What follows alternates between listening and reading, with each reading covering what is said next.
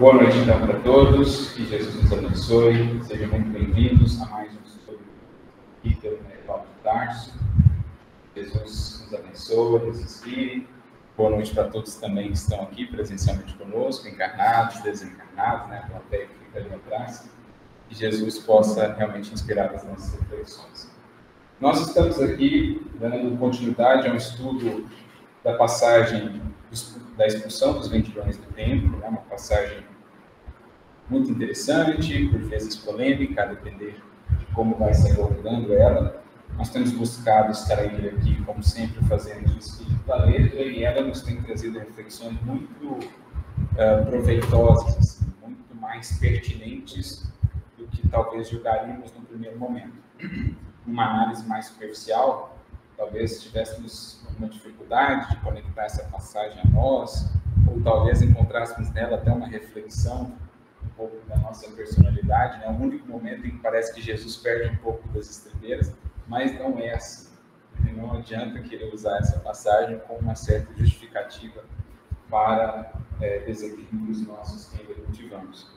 Então a gente tem buscado penetrar mais fundo, entender a significação desse tempo, dessa gestualidade, dessa encenação, do bom sentido aqui que Jesus faz, porque uma parábola de ação, é uma encenação simbólica, como se chamava naqueles tempos. E ela é uma passagem até curta, né? A gente já trabalhou aqui os dois primeiros versículos. Hoje nós vamos para o versículo de 17. O primeiro versículo demandou de nós dois estudos, o versículo passado, nós conseguimos trabalhar em estudos, pontos centrais, os pontos capitais, e hoje nós vamos então para o versículo 17. Eu vou ler o 16 para a gente recapitular, refrescar a memória, e então passo aqui para o 17. E não permitia que ninguém transportasse o utensílio através do templo. Isso é o 16.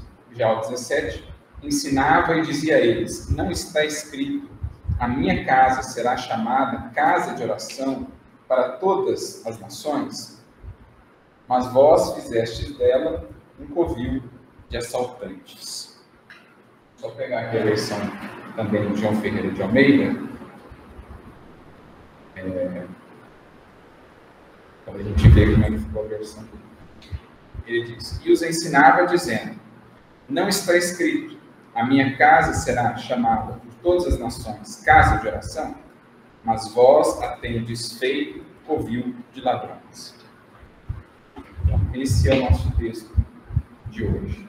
Como a gente já perdeu um pouquinho de tempo nisso, eh, a gente vai enxugar um pouco a revisão para já avançarmos para o versículo de hoje que vai demandar um cadinho de nós aqui. Alguém tem a, a Bíblia de Jerusalém aí? com as notas? Tem as notas? Ah, as notas não. Não tem? Não. Hoje o Thiago não está, né, para a Jerusalém. Mas tudo bem. A gente.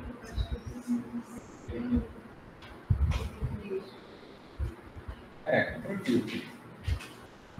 Ah, sobre o versículo. Ah, ótimo. Então, eu estou pegando a, a Bíblia de Jerusalém só para a gente já fazer uma formação com esse trecho, porque nós temos duas citações, na verdade, no Antigo Testamento desse trecho. Né? Uma citação de Isaías 56, 7 e outra citação de Jeremias 7, 11.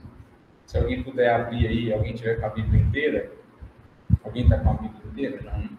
Não, no Novo Testamento. Então, não é Isaías 56, 7 ou Jeremias e Jeremias 7, 11. Tem um 56, 7. É. Só para a gente ler. Você quer ler aqui? Achamos aqui, querida. Aqui tem um. É, então, ó, Jeremias, é, Isaías primeiro, né, 56, 7. É uma, um momento aqui que ele está falando aos é, promessa aos estrangeiros, né, ele está falando da relação que o povo deveria ter com os estrangeiros. E aí diz assim, em determinado momento, né, Deus, simbolicamente, por meio do profeta. Traduzei ao meu monte santo e os cobrirei de alegria na minha casa de oração. Os seus holocaustos e os seus sacrifícios serão bem aceitos no meu altar. Com efeito, a minha casa será chamada casa de oração para todos os povos. E ele segue dizendo outras coisas, mas já dá bem para a gente entender o tom. Agora, se puder colocar aí o Jeremias 7, 11 para nós.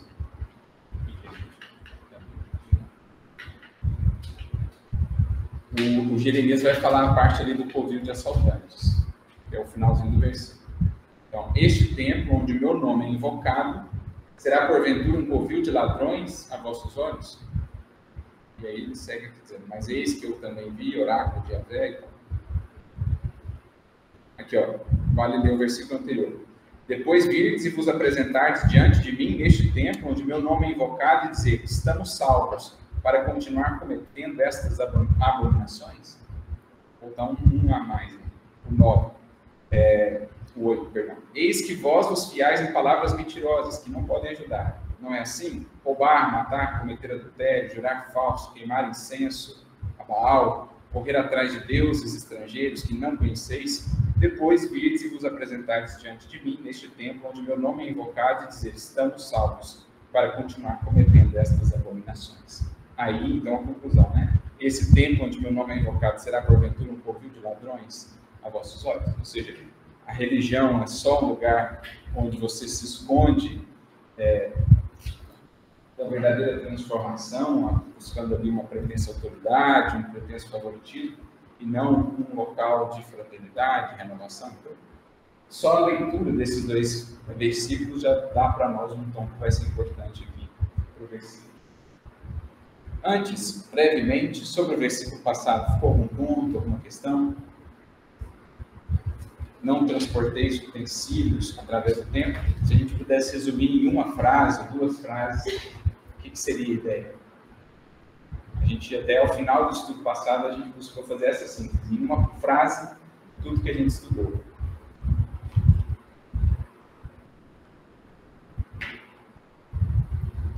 Um ponto importante que a gente falou. Não torneis impuro ou comum que Deus purificou. Em que contexto a gente estudou essa fala? Assim, que abrangência?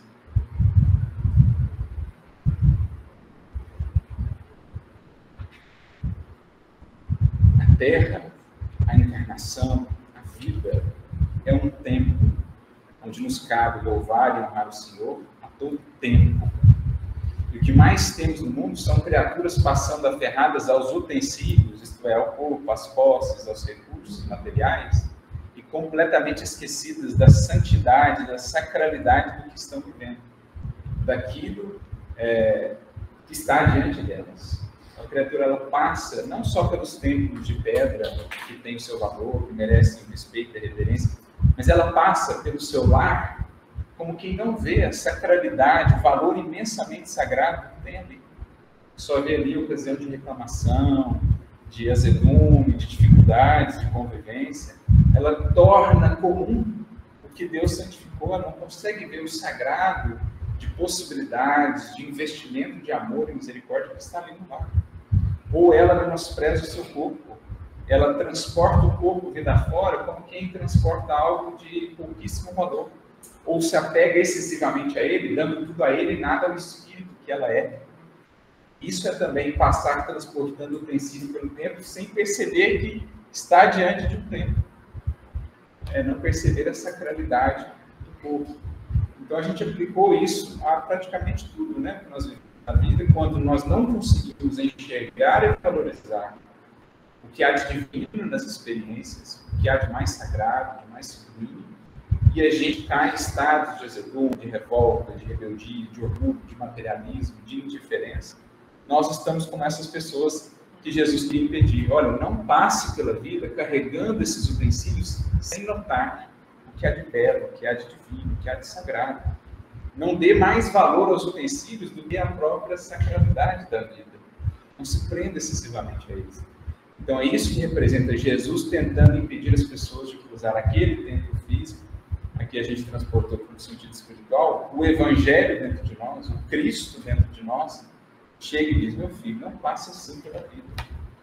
Não passe com tamanha indiferença, com tamanha ignorância pela vida. Não deixe de contemplar o que há de mais belo, sublime, não deixe de aproveitar as oportunidades benditas. Então, em síntese, foi isso que nós conversamos. E hoje, o que nós temos aqui? Por onde começamos a abordar? Eu achei esse verbo ensinar algo interessante, porque, como você mencionou, né, geralmente essa passagem é vista como um momento de um Jesus que a gente não reconhece, porque ele é repreendendo, fazendo algo, né? E aqui ele fala, ele nos ensinava. Esse é um ponto importante. Então, nunca o Cristo perde na sua ação o viés ou o objetivo educativo. Mesmo nas ocasiões em que ele foi um pouco mais enérgico, como no caso aqui em análise, ou quando do diabo com os fariseus, capítulo 23 de Mateus, por exemplo, que a gente já estudou, né, os é, em conjunto com as bem-aventuranças, nunca o Cristo perde esse fundo, esse, essa intenção educativa na sua ação. E é o que muitas vezes nós perdemos.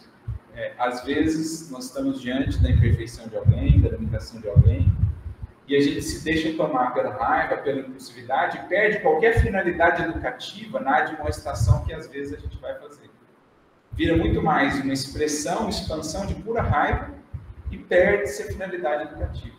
Agora, o Cristo não, e o Evangelho nos ensina, aprendemos sim a recorrer a uma certa energia quando ela se fizer necessária, uma firmeza de postura, mas sem nunca perder de vistas essa finalidade. Olha, eu estou fazendo isso não para humilhar o outro, não para depreciar o outro, não para esmagar o outro. Eu estou fazendo isso para elevá-lo para extrair dele qualidades ou ajudá-lo a encontrar qualidades que ele mesmo ainda julga não ter ou não, não julga não ser possível é, desenvolver.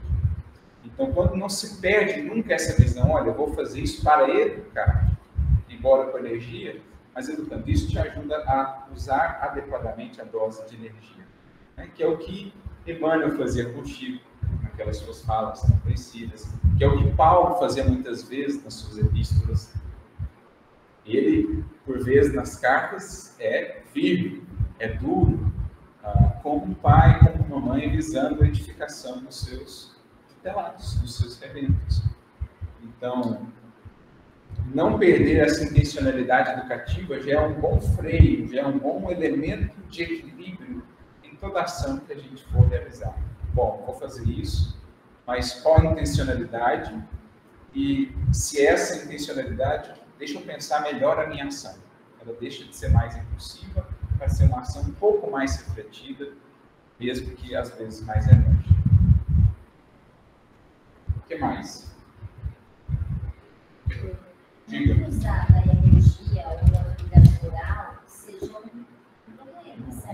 a gente percebe que muitas pessoas, por meio, ah, não, sou muito bonzinho, uma pessoa não tem autoridade, não tem firmeza, e muitas vezes acaba sendo necessidade de desenvolver, para saber falar não, né? Questão relacional à autoridade de hoje.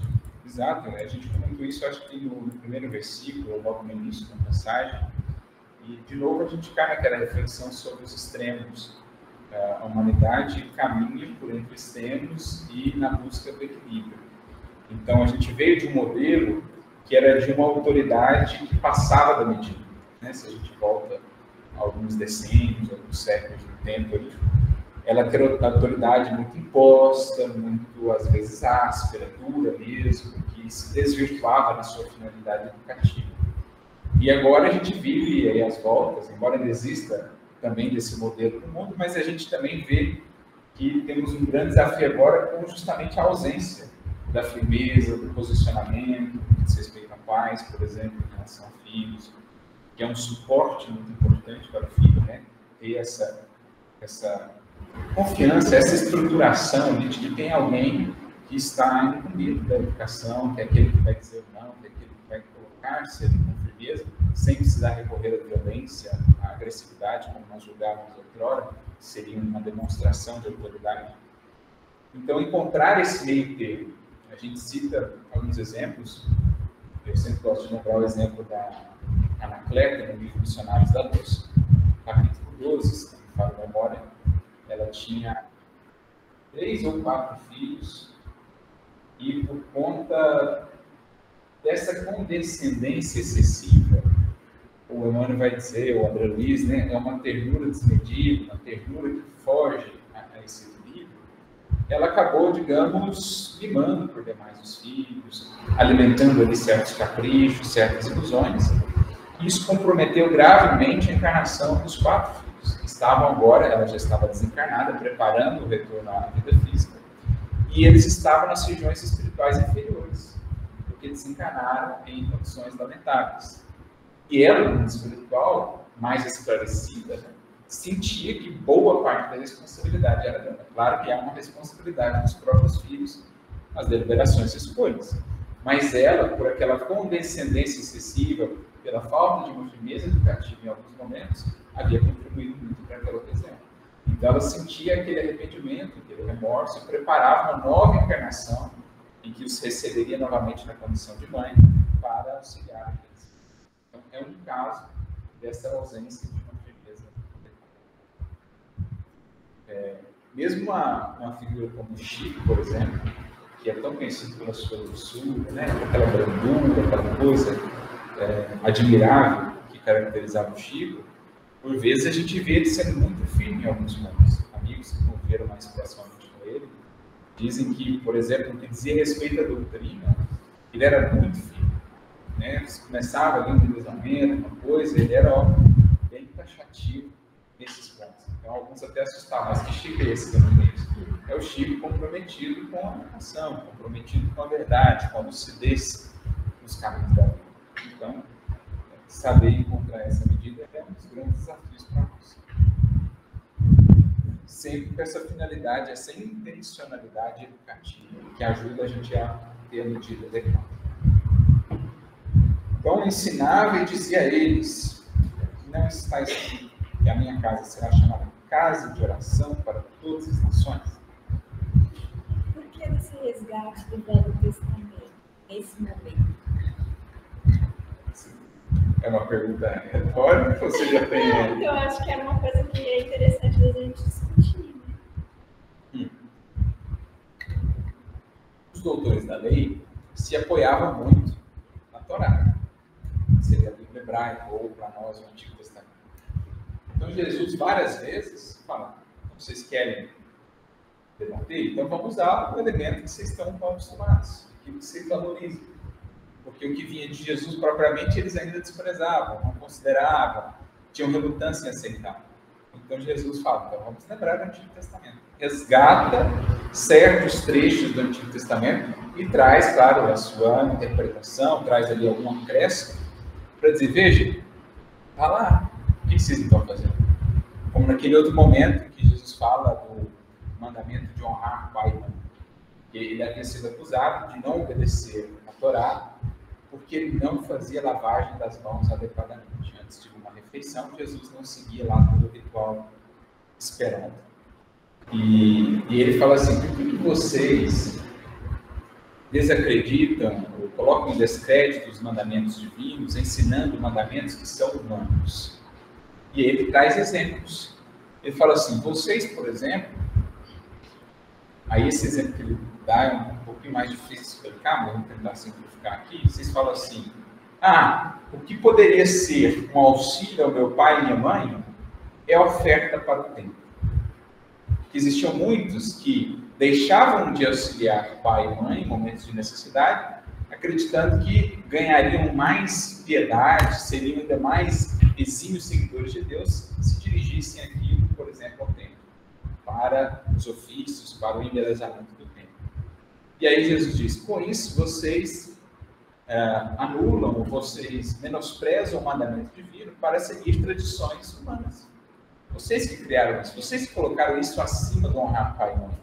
Mas o honrar pai e mãe está lá nos dez mandamentos.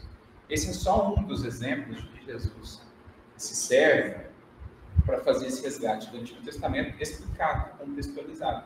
Como naquela feita em que eles também muito apegados a essa questão do sábio, por exemplo, de não poder fazer isso, aquilo Ele lembra o caso de Davi, uma das figuras mais proeminentes da tradição hebraica, que comeu os pães, os pães, perdão, da proposição.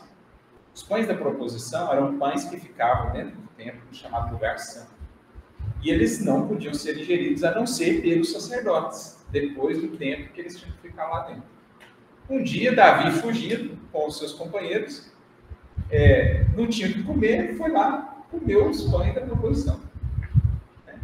E aí ele fala assim: Jesus traz a seguinte reflexão: Veja, os homens foram feitos para os pães, ou os pães foram feitos para os homens? Jesus não falou isso, né? eu estou fazendo a adaptação. É o mesmo que ele fala. Vem cá, o sábado foi feito para os homens ou os homens foram feitos para o sábado?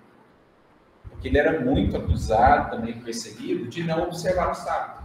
Porque ele fazia curas no sábado. E os doutores da lei, mas você está trabalhando no sábado.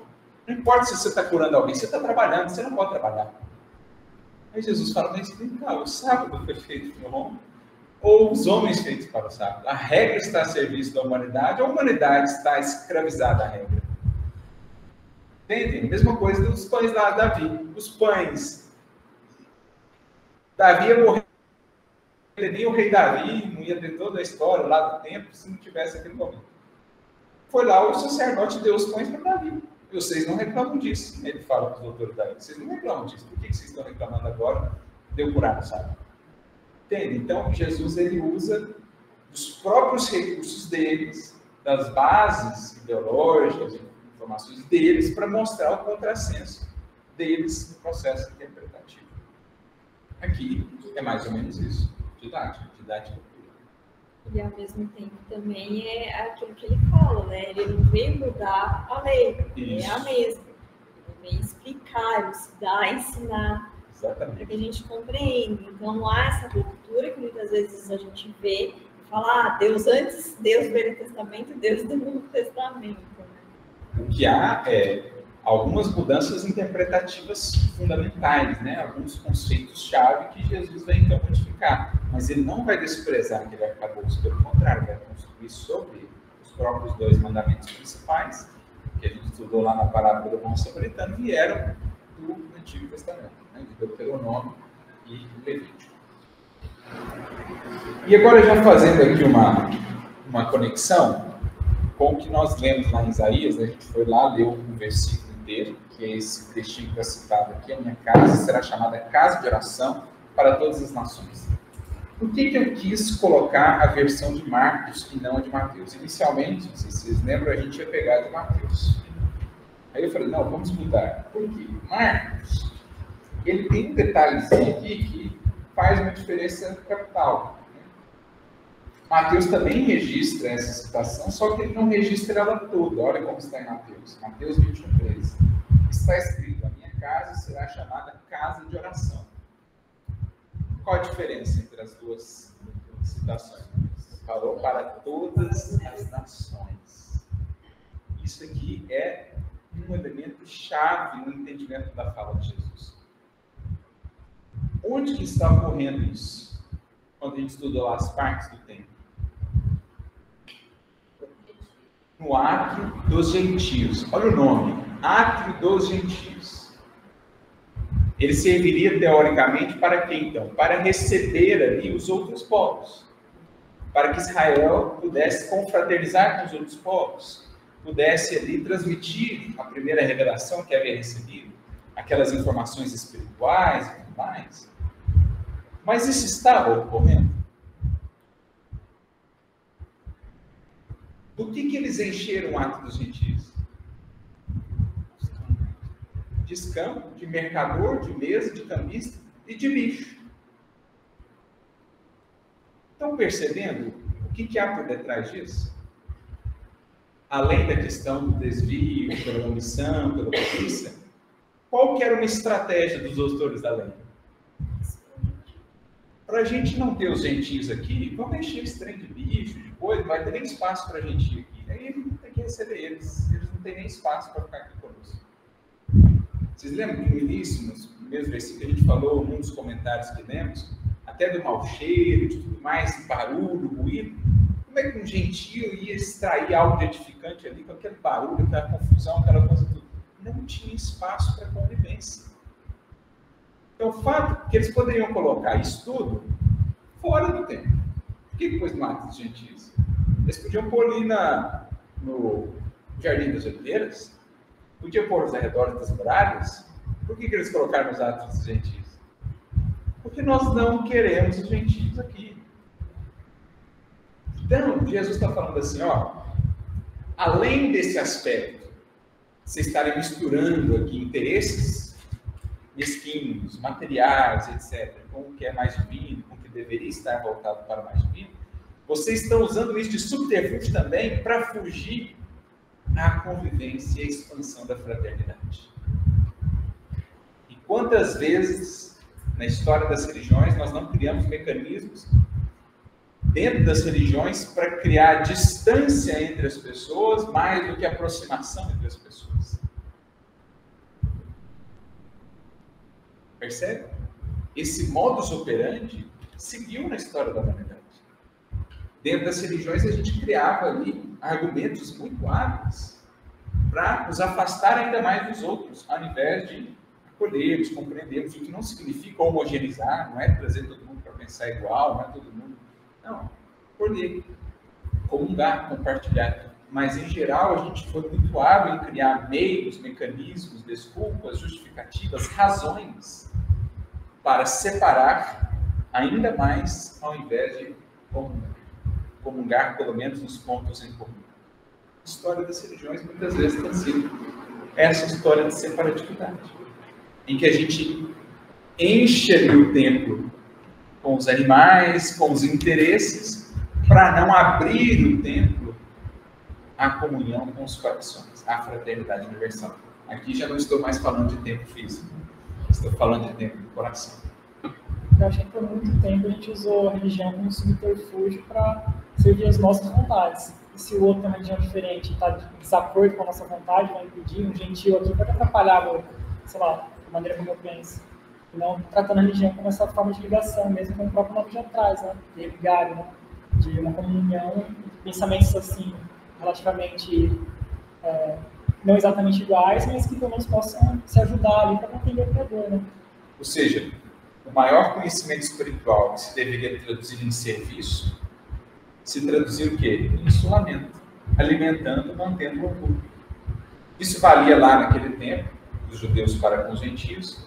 Isso valeu muitas vezes para nós na história do cristianismo, quando nós nos insulávamos nos discursos teológicos, nos debates e concílios infindáveis e excluímos absolutamente, ou desprezávamos os ignorantes, ou eles davam só ali o, digamos, convencional, formalismo exterior e nada mais, em termos de acolhimento, de educação verdadeira, né, de, de interesse realmente por aquelas almas.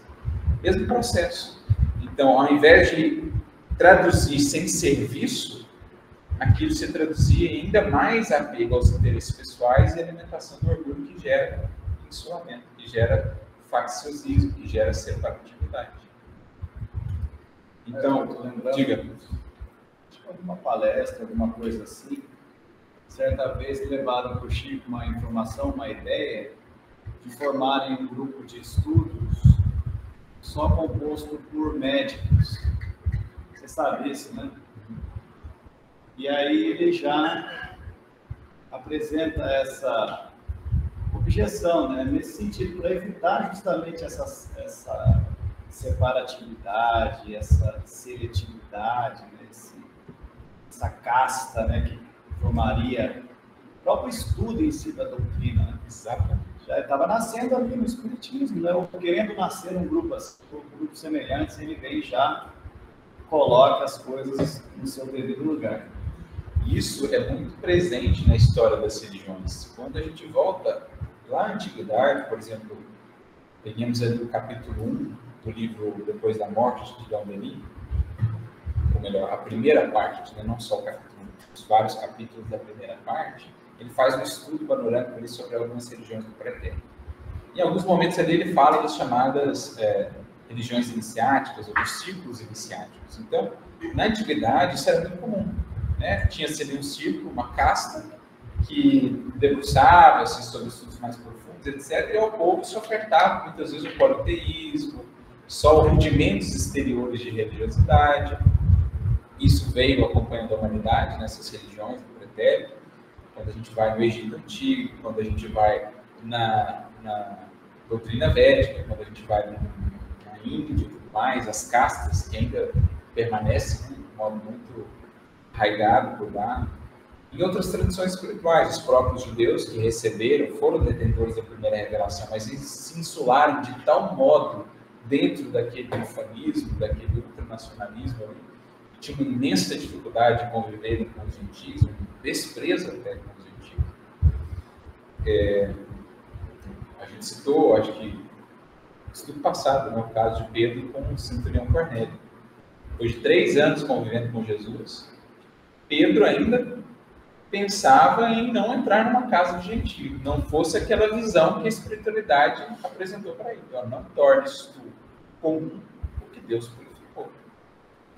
Vamos quebrar essa muralha de, divisão, Pedro? Vá lá e apresente a mensagem ao, ao Cornélio. Para ver como isso estava arraigado né, naqueles corações. E mesmo depois, né? A gente vai estudar de Paulo, a gente vê os judaizantes ali tentando ainda voltar, porque isso era muito forte. Eles chamavam aquele zelo, né? Até dar um nome bonito, enfim, parecendo que é um cuidado, quando na verdade tinha esse, esse componente aí de separatividade. Tem uma mensagem do Emmanuel que chama faccionismo, nas linhas de luz 36, Aí tem um trechinho que é muito bonito, que ele vai falar assim, querem todos que Deus lhes pertence. Todos os povos ali queriam, ah, esse, esse Deus é o meu Deus, não pode ser seu, né? Só da gente. E ele fala, querem todos que Deus lhes pertence, mas não cogitam de pertencer a Deus. E aí ele conclui a mensagem dizendo que todo aprendiz do Cristo esteja preparado a resistir ao mal. É imprescindível, porém, que compreenda a paternidade sagrada herança de todas as criaturas, reconhecendo que na casa do Pai, ele traz de novo essa frase do Pai, né? a única diferença entre os homens é a que se mede pelo esforço nobre de cada um. Inclusive, essa era uma das mensagens que a gente tinha separado com a lei. Só leu um pouquinho antes, ele diz assim: é, mas em todo instituto religioso propriamente humano há que evitar um perigo, o sentimento faccioso, que adia indefinidamente as mais sublimes edificações espirituais. Católicos, protestantes, espiritistas, todos eles se movimentam ameaçados pelo monstro da separação, como se o pensamento religioso traduzisse fermento da discórdia. Aquilo que deveria vir cumprir uma tarefa de agregação, de fraternidade, é, apesar das diferenças, né, das várias tradições religiosas, é, elas deveriam ser caminhos entendidos como caminhos que vão dar na mesma finalidade, mas em geral se tornam mesmo barreiras, uh, quando não de preconceito, às vezes até mais de perseguição, como, como a gente viu ao longo dos séculos. Né? Por isso ele diz: infelizmente é muito grande o número dos orientadores encarnados que se deixam dominar por suas garras perturbadoras, por essas garras, portanto, de facciosismo.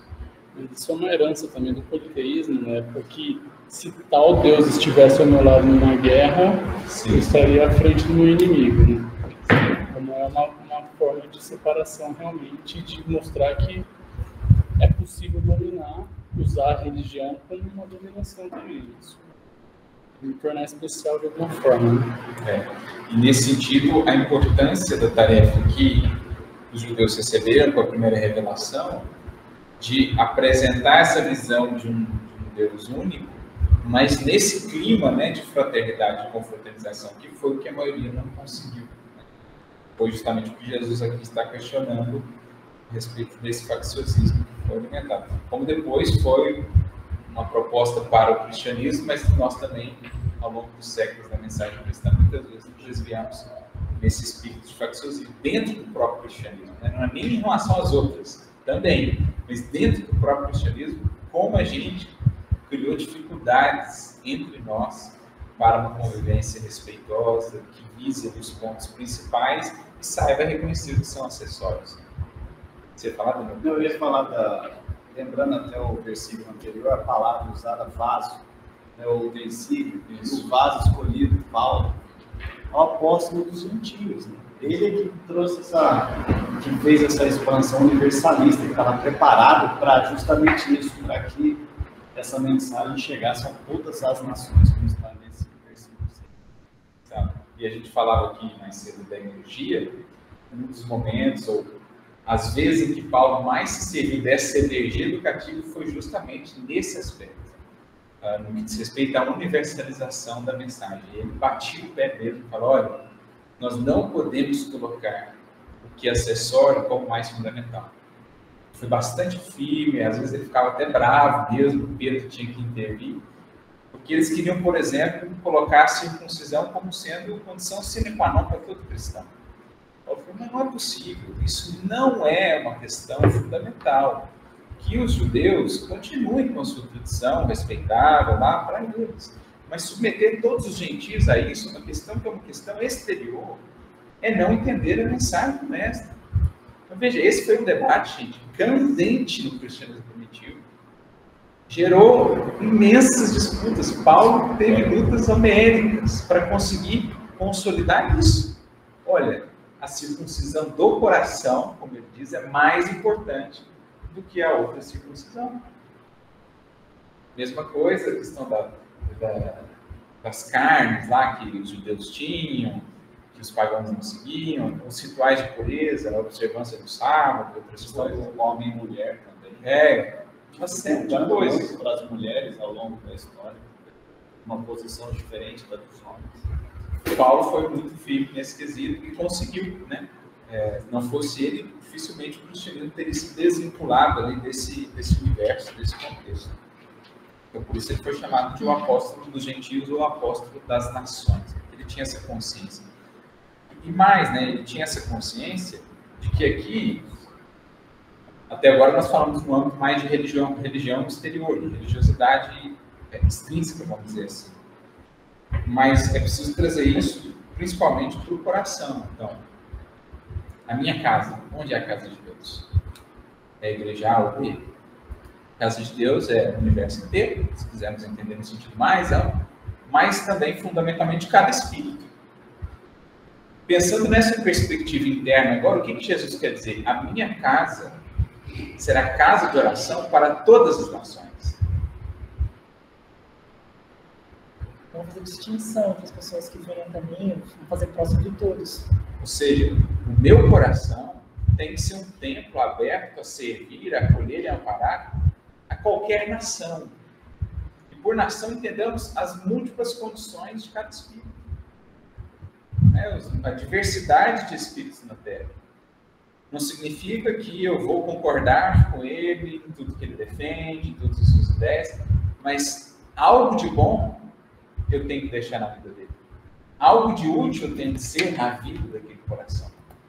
De alguma maneira, o meu coração tem que ser para ele um corpo, um refúgio, um estímulo, algo nesse sentido. Então, mais uma vez, aqui a gente até faz um vínculo com o bom samaritano que nós estudamos lá.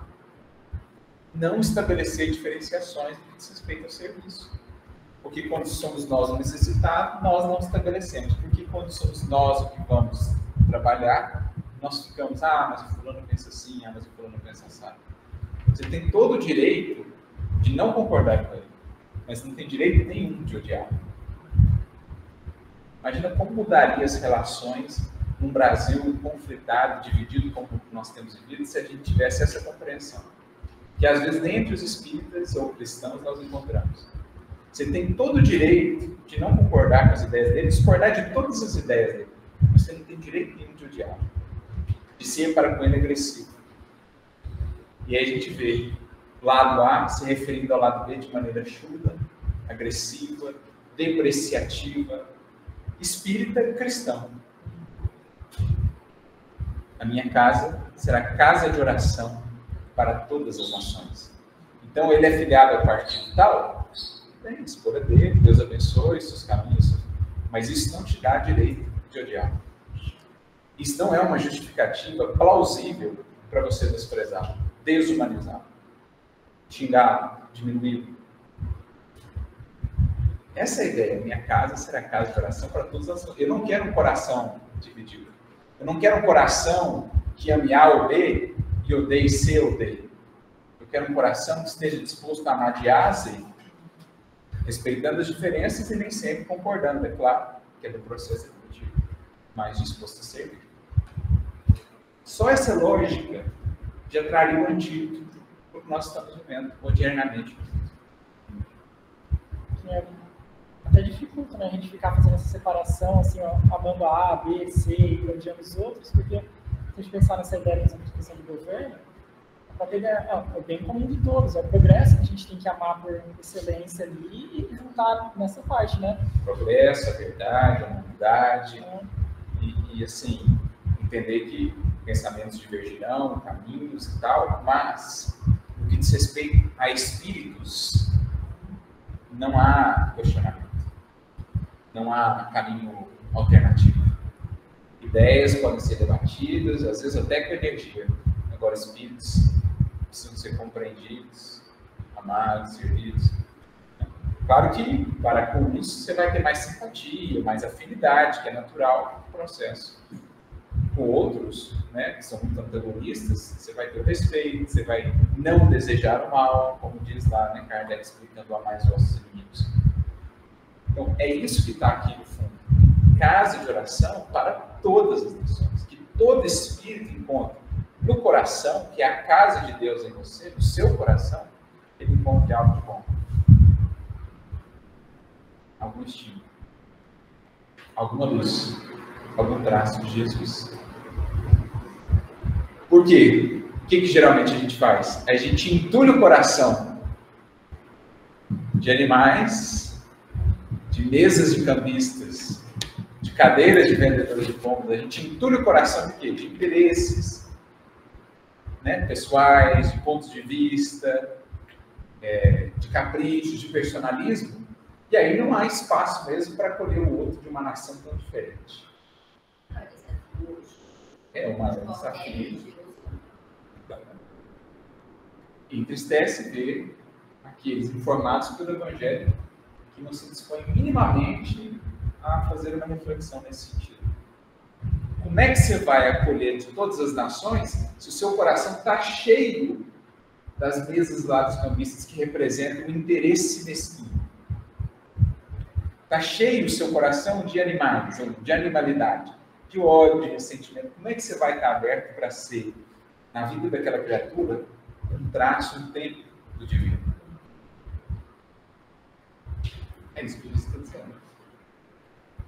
Eu fiquei pensando aqui agora, porque assim, se a gente se propõe a limpar esse tempo, naturalmente vai ter o tempo necessário ali de começar a remover os animais, desarmar as barracas, é, tirar as pessoas ali que são escambistas, ou seja, vai ter toda essa turbulência ainda, e mesmo assim o coração sincero já quer acolher os gentios, ou seja, os próximos a nós, vai ter também esse processo de progressão mesmo. Porque eu lembrei muito daquela passagem do Paulo, né, quando ele diz que o bem que eu quero, isso ainda não faço, e o mal que eu não quero, isso ainda faço. Né? Então, assim, é excelente já o Espírito que coloca isso na linha, tipo, é isso que eu preciso fazer, limpar o tempo. Mas também tem esse processo, né? Então, peraí, vamos desarmar aqui, precisa de um, um martelinho para puxar esses pregos aqui e começar a tirar as madeiras. Vamos achar algum lugar para colocar os animais, vamos domesticar. Né?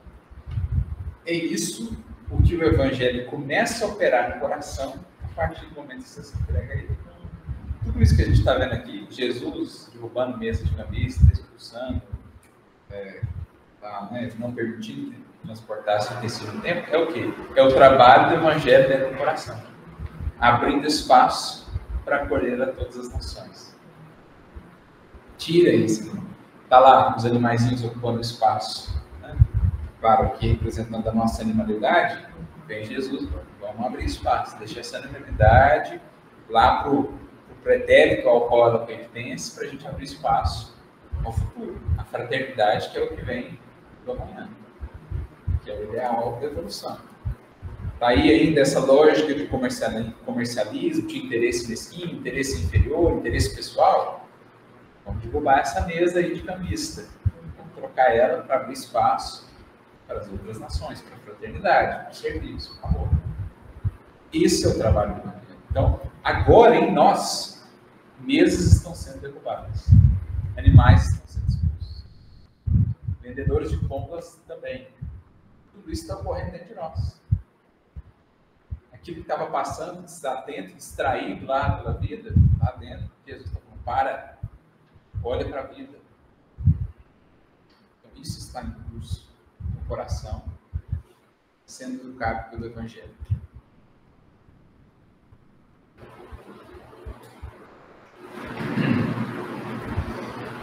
E essa oração aqui, claro, né, que tem um sentido mais amplo. Né? Minha casa será casa de oração.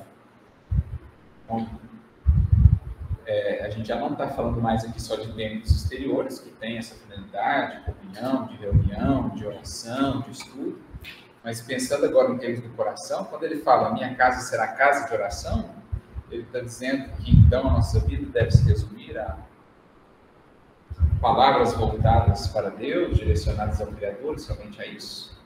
Por simples contemplação? Ou por oração, aqui define uma compreensão mais ampla do que seja orar? O que é oração? É voltar o espelho da nossa mente para Deus. Pensamento e vida lá, né? Então, buscar refletir. Se eu volto o espelho para Deus, é que estou buscando refletir na vida. Onde é tratada oração e o dos Espíritos? Qual lei? Primeira lei, lei de adoração. Então, quando fala assim, minha casa será casa de oração, Jesus está tratando o quê? Da adoração. Nosso dever mais fundamental, primeira lei moral. Adorar a Deus. Então, o seu coração está destinado, direcionado a adorar a Deus em toda parte. É isso que ele quer dizer. Minha casa será casa de oração. O seu coração não vai ser mais um ambiente de cambistas, de animais, de ilusões, de artificialismo. O seu coração vai ser um recinto sagrado, consagrado a adorar o Pai. Então, o que, que vai estar neste recinto agora? O que, que vai estar ali dentro? Eu penso que toda, tudo aquilo que vem de Deus e toda a sua criação, portanto. Então não dá para você dizer que ama a Deus sem amar as suas criaturas. Não dá para dizer que eu amo a Deus e quero adorar a Deus se eu não quero me livrar daquela mágoazinha que eu guardo as sete chaves lá no cantinho deste recinto. Não dá para dizer que eu amo a Deus, que eu estou sinceramente comprometido com Deus, se eu não quero abrir mão daquele apegozinho, daquele víciozinho que eu guardo ali, todo esmero num cantinho do coração. Então, para realmente adorá-lo, eu preciso abrir espaço nesse recinto, para que ele preencha. Se o recinto está preenchido com interesse que é puramente pessoal, com sentimento ruim, com mágoa, com ressentimento, com ódio, com orgulho, não há espaço para Deus. Não é mais uma casa de oração. Está aquele templo contaminado. Preciso purificá-lo. Que é todo o mote aqui da passagem. Então, a gradação, ela vai, perdão, a oração, ela vai graduando-se conforme o Espírito vai evoluindo. Ela começa né, nos seus primeiros albores ali, quando o Espírito vai fazendo os primeiros movimentos de libertar-se do egoísmo, do orgulho, ela começa com o primeiro espaçozinho que eu consigo abrir naquela bagunça que está esse tempo. Mas ela vai culminar com todo aquele espaço ofertado e reservado a Deus e às suas criaturas para o serviço. Então, a oração, ela começa na nossa vida em alguns momentos. Ah, eu paro para orar de manhã, à noite, quando vou fazer o estudo. Mas ela vai terminar com uma oração constante. Todo o tempo, toda a vida. O Espírito sublimado, a sua vida é oração. Porque cada pensamento, cada propósito estabelecido por um ser é uma oração às forças da luz ou uma invocação às forças da sombra, como diz o Cristo Clarence na Inglaterra do Céu. E se assim é, quando todos os seus propósitos forem divinos, tudo que você pensar será oração. Essa é a meta. Minha casa será casa de oração. Esse é o propósito da evolução. O dia que todo todo pensamento seu, todo sentimento seu estiver harmonizado com Deus, você terá alcançado essa condição. Que dá para fazer mais um paralelo com a passagem do Bom Samaritano, porque aqui fala da limpeza do coração para que Deus possa entrar. E lá a gente falou da, de entrar na vibração correta para ter o amor de Deus, né? para a gente alcançar, captar o amor de Deus. Né? Analogias semelhantes, né? só muda aí o exemplo, mas a ideia é a mesma. Afinar o coração a ponto de entrar em perfeita sintonia com Deus, ou liberar, purificar o coração a ponto de ofertar integralmente a Deus. Essa é. Diga lá, Carol. Boa noite a todos. Tudo certo, bem? O Arthur, só para relembrar um pouquinho do, do estudo passado, então, é, é a edificação do, do templo em nós, né? Essa construção diária no lar, no trabalho, né? Com a pessoa difícil, com, enfim, né? Acho que passa um pouco por isso, né? Passa, passa por isso, nesse trabalho interno todos os dias, né? De edificar em nós é, essa, esse templo, né? Exatamente. É, todos os tempos exteriores do mundo estão ou deveriam estar a serviço disso da descoberta e edificação do templo interno da criatura. E quando cada sentimento, pensamento estiver em harmonia com o Criador, então a gente terá alcançado essa condição. E tudo que fizermos será oração. Digo que Sim. Quando a gente vai avançando, você termina né, Exato. E de internalização também, né? É tão interessante isso, uma vez a gente comentou aqui, o que, que nós tínhamos no Santo dos Santos? Três elementos. Alguém se recorda? Maná. Um, um é mais. Ah, lembrou do que eu achei que ia ser mais difícil lembrar. O maná, beleza? O maná, um pouquinho de maná. O que mais que estava lá? O mais importante de tudo, gente. Não, o incenso ficava no, no anterior. É. Cajado? É, eu, eu achei que você tinha falado cajado primeiro. Tem um cajado, que era o cajado de Arão, o irmão de Moisés, e o principal, o principal. O que estava lá? Que Moisés obteve as tábuas da lei. Que Moisés obteve no Sinai, né, dos Dez Mandamentos. Então nós tínhamos as tábuas da lei, o cajado de Arão e uma porção de maná. Olha como é bonito isso, né? Quando se constrói o tabernáculo, visto de cima, alguns estudiosos até trabalharam nisso, ele tem a forma de um ser humano. E aí, lá no mais interno do tabernáculo, nós temos esses três elementos: as tábuas da lei.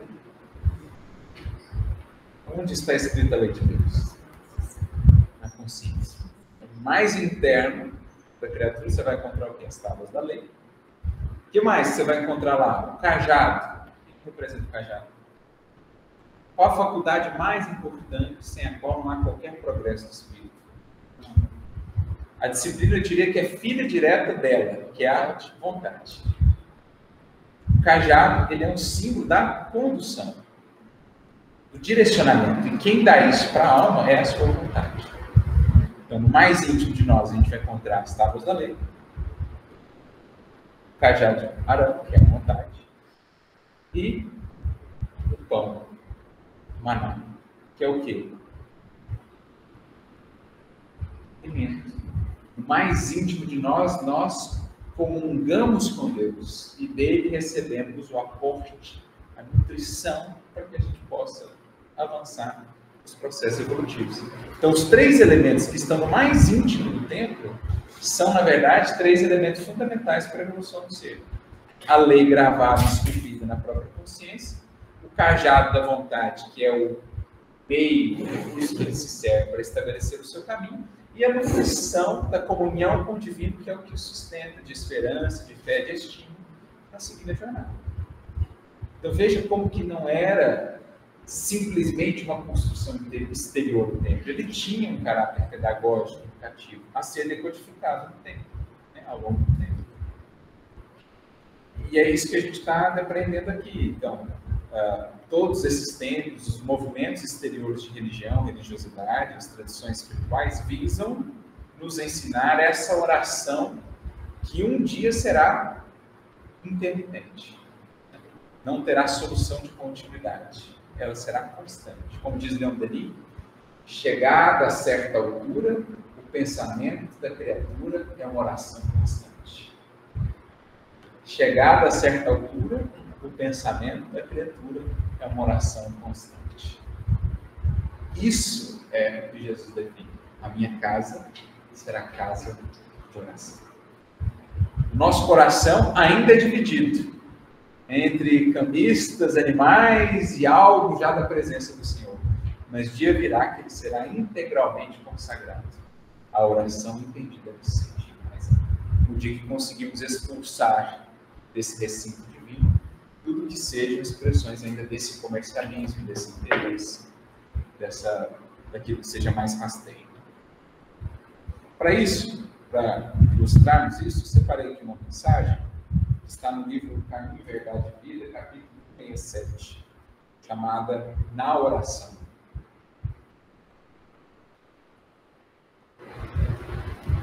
E Emmanuel vai comentar um versículo interessante, Lucas 11, 1, quando os discípulos voltam-se para Jesus e dizem: Senhor, ensina-nos a orar Logo depois disso, Jesus ensina a oração do Pai Nosso. Né? Mas interessante, Senhor, ensina-nos a orar. E aí Emmanuel comenta assim: a prece, os círculos do cristianismo, caracteriza-se por gradação infinita em suas manifestações. Porque existem crentes de todos os matizes dos vários cursos da fé. Gradação infinita. Os seguidores inquietos reclamam a realização de propósitos inconstantes. Então, no caso desses corações, a, a casa divina ali, que seria o coração, ele ainda está dividido. Ali ainda muitos propósitos inconstantes. Então, a sua oração não consegue se expressar pura, porque ela está contaminada por esses propósitos inconstantes. Os egoístas exigem a solução de caprichos inferiores. Então, os egoístas são aqueles que, desse recinto sagrado, albergam ainda ali as mesas de cambistas, né? das trocas, dos interesses, do egoísmo. Então, neles também, aquela casa ainda não é uma casa de oração pura, integral. Os ignorantes do bem chegam a rogar o mal para o próximo serve da oração como da religião para rogar o mal ao próximo. Então, aquele recinto sagrado do coração ainda não está ainda não é integralmente uma casa de oração. Os tristes pedem a solidão com ociosidade. Os desesperados suplicam a morte. Então, mesmo um recurso que tem essa finalidade divina, como oração, a gente percebe como nós ainda contaminamos muitas vezes esse recurso, ou esse recinto em nós. Inúmeros beneficiários do Evangelho imploram isso ou aquilo com alusão à boa marcha dos negócios, que lhes interessa a vida física. Em suma, buscam a fuga, anelam somente a distância da dificuldade, do trabalho, da luta digna foi o que a gente falou lá, Jesus derrubando as cadeiras dos vendedores de compra. Quantos não se aproximam do Evangelho buscando simplesmente comodidade, favoritismo, isenção de dúvidas?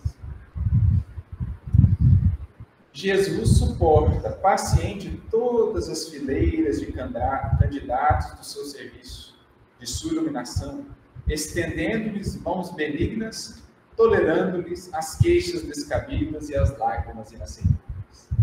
Jesus pacientemente né, vai aguardando que aqueles corações despertem uma compreensão mais lúcida.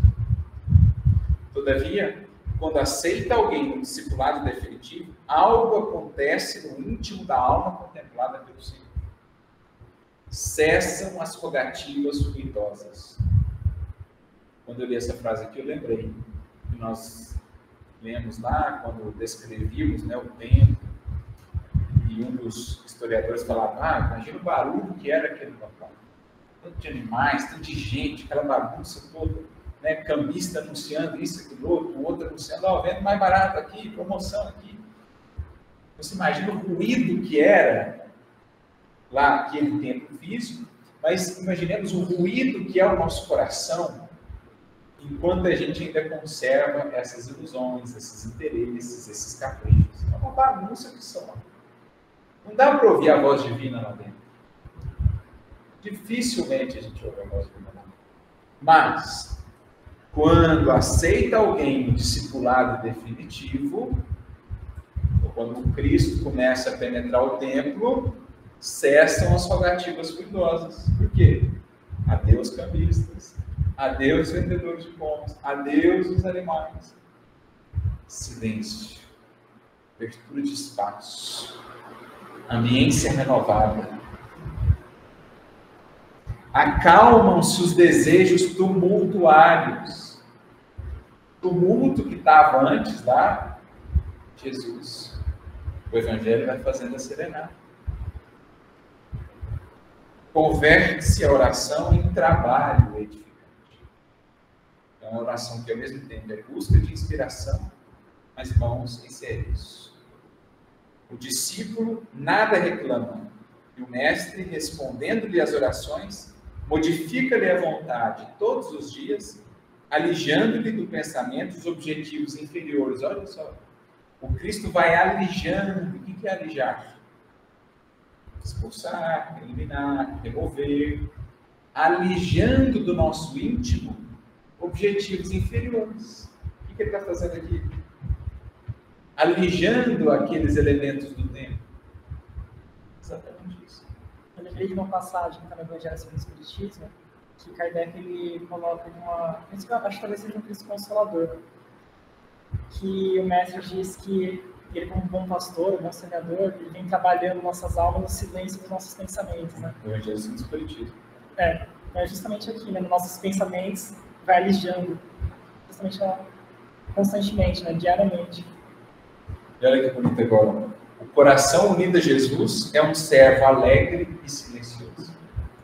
Porque, gente, nós, com aquele tumulto, com aquele ruído lá dentro, paz nós vamos ofertar a Deus?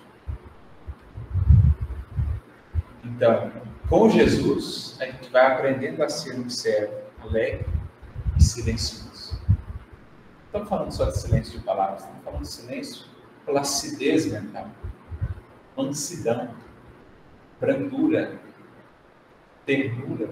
Tudo isso é sinal de quem internamente tem conseguido estabelecer silêncio. Não que de um salto nós estaremos livres de todos esses animaizinhos, de todo esse tumulto e de todo esse ruído. Mas pelo menos a gente já consegue, numa parte daquele recinto, estabelecer um silêncio tal possa ser ofertado a outras vidas. Um exercício constante. Constante. Tem um ditado, acho que hindu, que fala que quando a gente ora, a gente fala com Deus. Né? Quando a gente medita, silencia, a gente ouve Deus. Né? Deus fala com Deus fala conosco. Então, é, é um trabalho realmente que tem que construir, né? Por isso, a convivência com isso aqui, né? com as lições do mestre, não com esse livro, isso aqui é forma, mas com o mestre nas suas lições, é esse trabalho de limpeza, de purificação, dia a dia, para que haja cada dia mais menos ruído, menos tumulto, menos desejos inferiores, tumultuários, como estão aqui descritos, e mais oferta de silêncio, acolhimento, brandura, mansidão, alegria, àqueles que precisam encontrar o bem, porque ainda não encontraram os próprios. Né? O, o, o, mestre fala assim para Pedro, no livro Boa Nova, né? capítulo 12: Seja o nosso coração uma sala iluminada que a gente possa ofertar aos peregrinos do caminho, onde ali eles possam encontrar uma palavra amiga, um acolhimento, um consolo, estímulo. Então, fazer do coração um templo, uma sala iluminada e silenciosa, em que o outro queira estar, goste de estar. Poxa, é tão bom estar junto daquela pessoa e transmite um silêncio, uma paz. Esse é o trabalho de alijar no nosso tempo isso. só para terminar aqui antes de passar para o Lívio, o Tiago, disse-lhe o mestre: Levanta-te e segue-me. E ele ergueu-se e seguiu. Então, a minha casa será casa de oração nesses termos, quando eu conseguir ofertar as vidas ao meu redor, de quaisquer nações, de quaisquer partidos políticos, de quaisquer ideologias, de quaisquer visões de mundo, silêncio, acolhimento, respeito, compreensão, ainda que haja discordância de ideias, que é natural, aí eu estarei entendendo qual a finalidade da religiosidade na minha vida. Diga lá, Lívia, Tiago. É, só resumindo, assim, é, enquanto vocês estavam comentando, eu acho que para trazer para um termo espírita, é, toda essa passagem, na verdade, ela representa a reforma íntima, né? Que o, o evangelho vai fazendo nos nossos corações. É literalmente a ideia da reforma. Tira uma coisa de lugar, põe outra para fora, mexe e vai nos transformando, né? Esse é o objetivo. Exatamente, Para ofertarmos um tempo cada vez mais belo, mais acolhedor, mais harmonioso aos corações que transitam pelo tempo do coração. A todas as nações, sem preconceito, sem divisões, não é, usando, utilizando né, da religiosidade para alimentar a divisão. Pelo contrário, aprendendo com ela para ampliar, expandir a fraternidade e a compreensão. Então, uma lição mais atual aí para nós, é, ante os desafios dos tempos modernos. E, e a parte final, diga, Fernandes. Não, só ia comentar que a gente falou tudo isso e vai percebendo, vai caindo nas fichas, porque quando a gente fala de paz, de silêncio, enfim, a gente fica procurando as coisas, esses barulhos fora, né? Então a gente, o mundo, porque a gente não consegue fazer silêncio porque o mundo está barulhento. Você vai percebendo que está tudo acontecendo dentro de você. Estava me vindo muito a questão do, dos falsos profetas, que assim, a gente é lembrado lá na mensagem que eles moram dentro, então está tudo dentro vai tudo acontecer interiormente, não vai ser algo que vai ser visto de fora. Então é um processo muito particular de cada um também que vai acontecer. É assim, fundamentalmente particular, interno, íntimo, que vai acabar depois tendo uma repercussão lá fora, na maneira como eu lido e relaciono com as pessoas, mas que não será alcançado sem esse trabalho fundamentalmente interno. É, ele repercute de uma maneira silenciosa, silenciosa forma. Você não vai ser gritando, olha, tô... olha como estou renovado, é... olha como estou melhor. As pessoas vão parando, nossa, mas ele está diferente, não sei o quê. Esse é o espírito. Então, as pessoas, assim, junto daquela pessoa, você se sente impelido a pensar mais nas coisas de Deus. Junto daquela pessoa, você se sente mais impelido a buscar a virtude. Isso é, é, a conversão que se espera de um espírito. Aquela pessoa que induz um outro espírito a buscar as coisas transcendentes, a pensar no que é acima da matéria, aquilo que transcende a matéria. Então, são vidas assim que a gente precisa na, na Terra. São pontos, são catalisadores de espiritualidade. Onde estão? Essas são as vidas convertidas em tempos vivos. Você veja, Quantas pessoas, assim, que não tinham qualquer busca de religiosidade, diante de um Chico Xavier, não se sentiram impelidas a isso. Às vezes nem porque conviveram pessoalmente com ele, mas porque viram um filme, viram um vídeo, ficou gravado dele, falam, puxa vida, esse cara tem uma coisa diferente. Né? É uma vida convertida em tempo. Um coração purificado. Né? Exemplo do Celton Melo Parigó. Exato, exato né? O outro ator lá também, o, que fez o Chico, né? O Nelson Xavier. Sim, também. Que ele, acho que era até ateu, né? Na vida vista. Mas ele foi tão tocado pelo filme, tão tocado pelo filme, que ele realmente se tornou assim, um admirador, ele, ele se emocionava toda vez que falava disso. Exatamente. Então, uh, você imagina, né? Uma alma que fez isso, a quantas outras almas ela propicia um encontro com o divino? de maneira silenciosa, de maneira assim, sutil. Então, esse é o processo. E aí a gente entra na parte final. Mas vós fizestes dela um colírio das faltantes. Que sentido aqui? Covil é caverna, né? Toca, cola. É aquilo daquilo, é, lembra aquilo de quem está fugindo. Né? O assaltante faz a coisa errada e ele foge, esconde na toca, esconde no covil. Então já denota aqui um processo de fuga. Vocês estão usando a religião como processo de fuga e não de crescimento espiritual. Chama a atenção também aqui que ele fala: vós tendes feito dela um covil. É a gente. Isso, não é a religião em si é ruim, exato. Não é o outro que está impondo algo. E assaltantes em que sentido?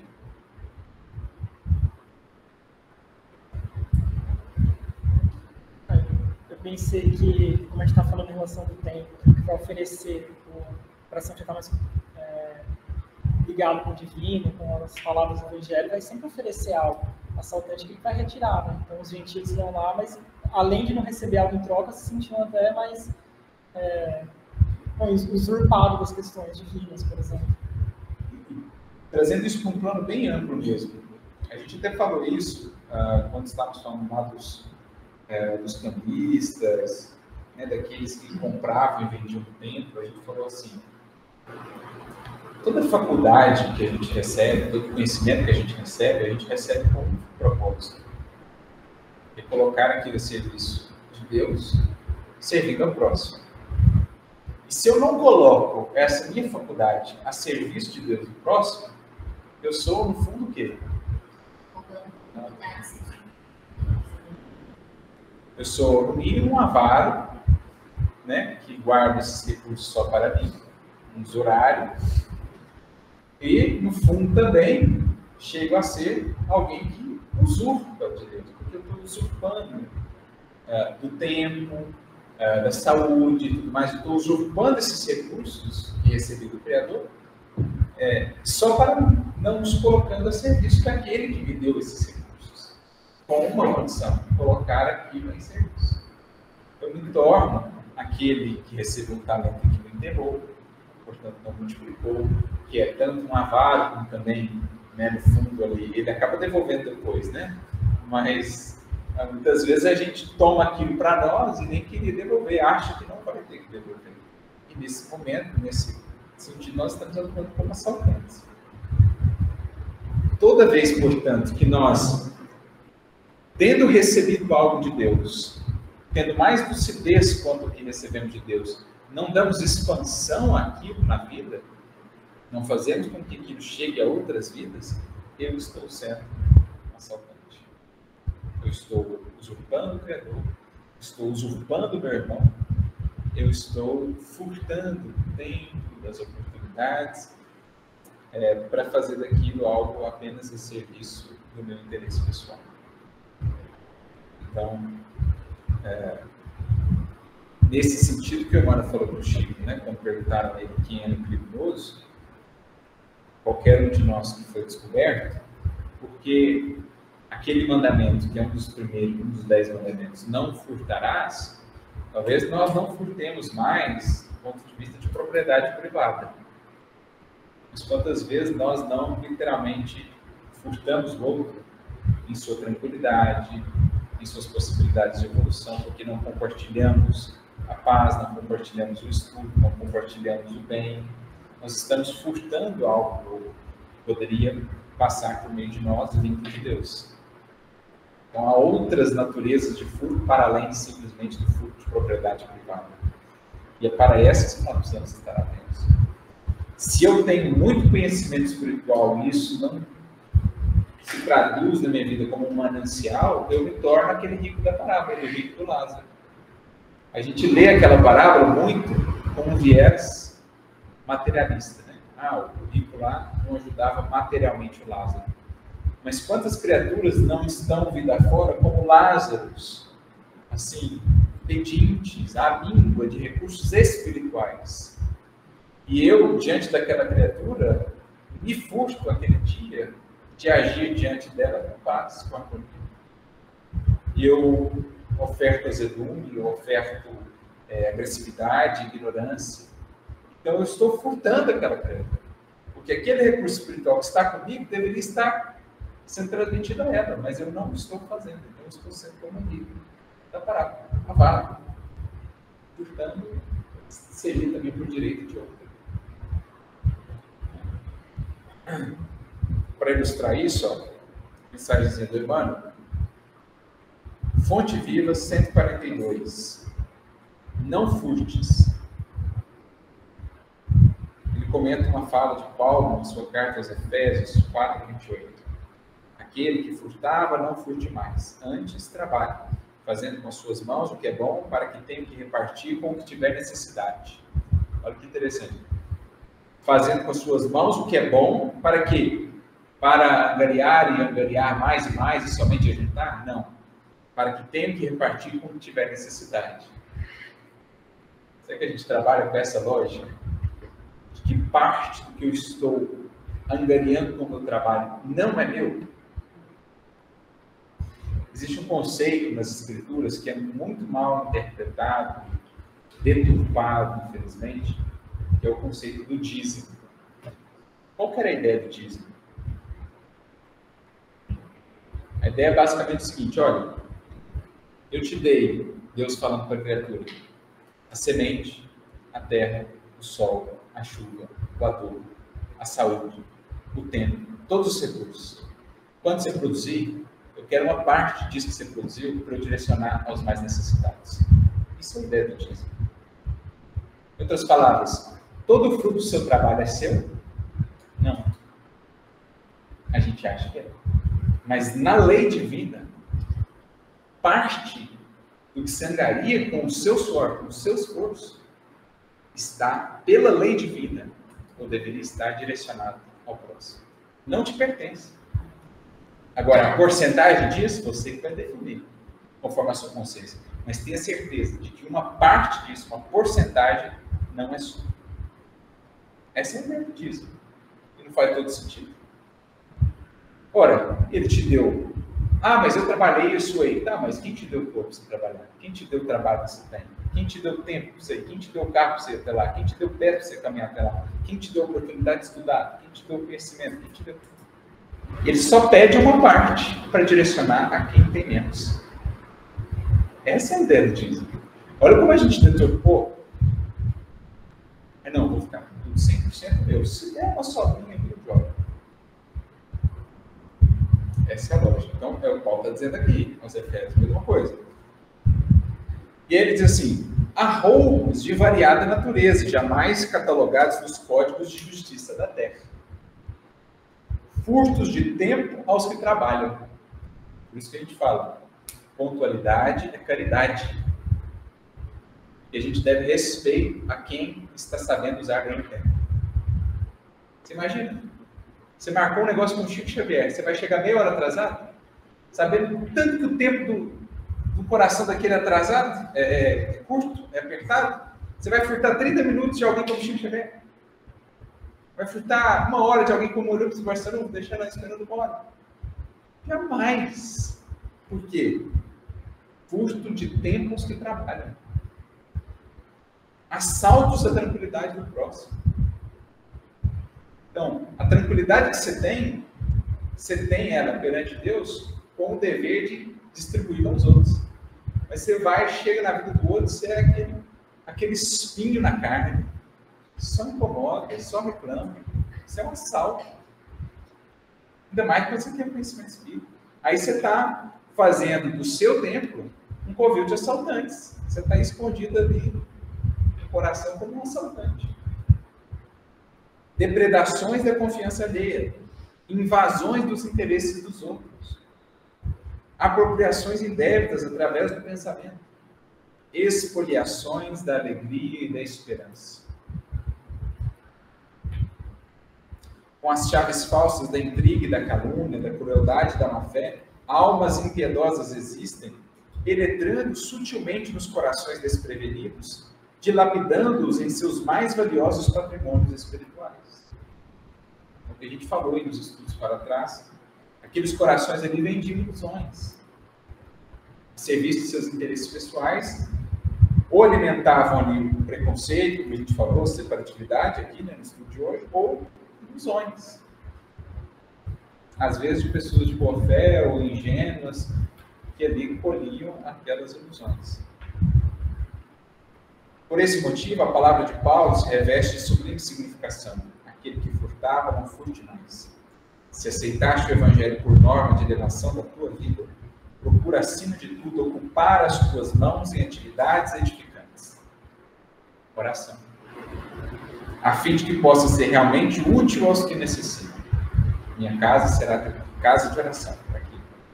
Na preguiça está sediada a gerência do mal. Em alguma coisa faz, tem algo a repartir.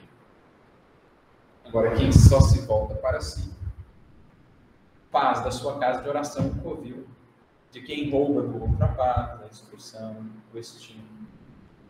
Busca o teu posto de serviço, cumpre dignamente as tuas obrigações de cada dia e, atendendo aos deveres que o Senhor te confiou, atravessarás o caminho terrestre sem furtar a ninguém. Toda vez que eu privo, portanto, o outro de ter um contato mais profundo com Deus, a partir da minha ação, eu estou furtando, de alguma maneira, especialmente se já tem mais consciência disso.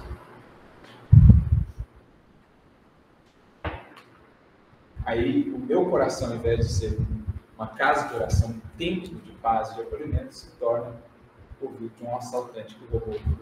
A paz, a tranquilidade, a esperança, a alegria. Beleza?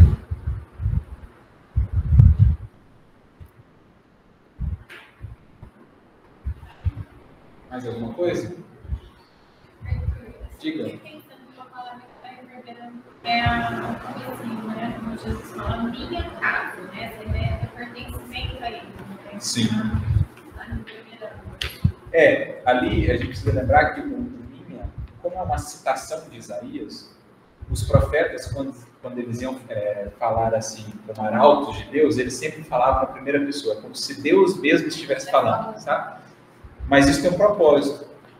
No fundo, é, é, é uma referência ao eu divino.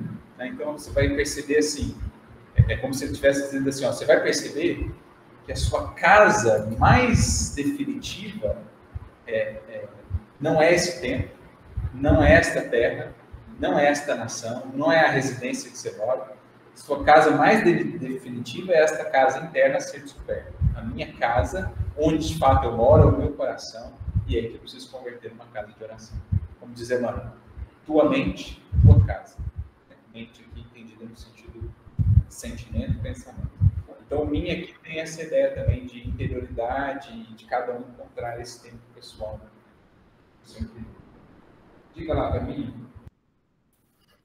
É, Arthur, com essas suas reflexões, eu estou pensando no seguinte: faz um tempinho eu ouvi uma, uma palestra, do, aliás, o né, do Aloysio Elias, e num trechinho ele falou exatamente assim, que a abnegação vai além do dever cumprido, né? A abnegação é além do dever. Aí ele diz assim, a abnegação é a caridade cristã. Então, eh, se é cristã, caridade como Cristo fez, faz caridade, né? Então, imaginamos, assim, é, fazer no nosso coração esse templo do Senhor, é, doando ao próximo tudo, todas as nossas conquistas que foram realmente doadas por eles, né? Temos algum mérito, mas tudo isso nós temos obrigação, de, além do dever mesmo, de, dar, de eh, eh, devolver ao próximo. Então, acredito que tem essa ligação, né? O dever cumprido, mas a abnegação é, é além disso. É justamente essa entrega dos nossos entendimentos, aquela lâmpadazinha, né? Candeiazinha acesa para iluminar quem está na nossa retaguarda. Exatamente, querido. Só o amor, né? só essa abnegação é capaz de tirar os anjos dos céus e fazê-los descer ao inferno. Em tese, não teria o dever mais de descer aos infernos, mas porque tem essa compreensão mais ampla do amor, produzido em abnegação, é que se voltam sobre os próprios passos em auxílio àqueles que ainda mergulham na sombra de si. Então, lembro daquela passagem que é narrada por Maria Dolores, né? É, e também irmão Chico. Acho que os dois trazem mensagens muito similares. Depois que Simão Pedro desencarna, ele é acolhido por Jesus. Ele é levado para esferas celestes lá, né? local de muita beleza e tal, e Jesus né, apresenta ele para ele, aquelas belezas e tal, fala para ele descansar e tal.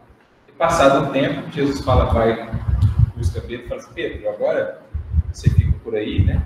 Mas eu não posso ficar mais, é, fique à vontade de ir, mas enquanto tiver um direito na terra, eu não poderei descansar. E aí Pedro fala, então, Senhor, eu também não. Aqui não, vou contigo. Então, assim, espíritos que já teriam o direito de usufruir e gozar a plenitude daqueles altiplanos, mas que não descansam em serviço enquanto gemido e soluço os mover aqui na Terra. É, espíritos que já poderiam estar em esferas mais firmadas, como é o caso de Eurípides e Bezerra, mas que solicitaram a Jesus permanecerem na Terra, contribuindo, trabalhando, enquanto uma lágrima um soluço ainda aqui existe.